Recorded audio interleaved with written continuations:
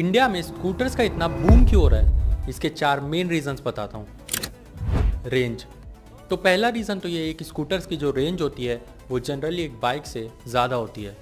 तो लोग स्कूटर्स को ज़्यादा प्रीफर करते हैं as compare to bike affordability अभी अगर आपको होंडा की एक बाइक लेनी है तो वो आपको लगभग अस्सी हज़ार से एक लाख तक की पड़ेगी।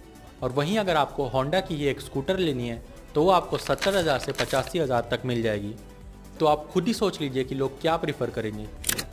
डिज़ाइन पहले स्कूटर्स को ऐसे देखा जाता था कि वो यूथ के लिए नहीं बनी है, लेकिन आजकल के स्कूटर्स को यूथ को ध्यान में रखते हुए डिज़ाइन किया जाता है।